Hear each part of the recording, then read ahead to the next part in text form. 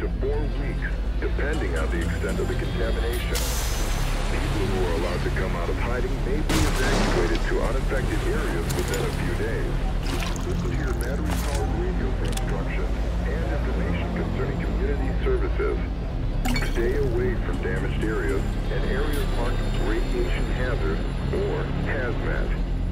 As with biological or chemical fallout, having a disaster your way